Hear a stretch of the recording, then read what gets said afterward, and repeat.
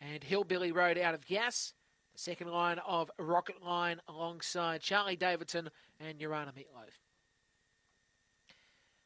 Green light goes through. The lures on the move for the penultimate. The Greg Martlew Autos Open stake over to 400. Ready?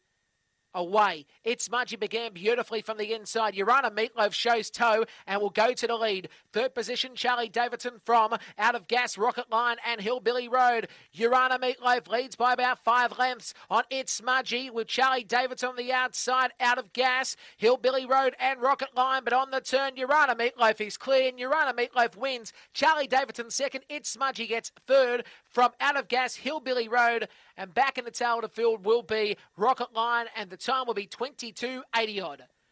The eight pink Urana Meatloaf, too good, has won the prize for Tracy Price. And the Greyhound just shot clear after it smudgy got the rails run, but from the outside just pinged forward and went to the lead to win the prize. So eight, four, one will be the numbers eight, four, and one, and we await for confirmation for fourth position.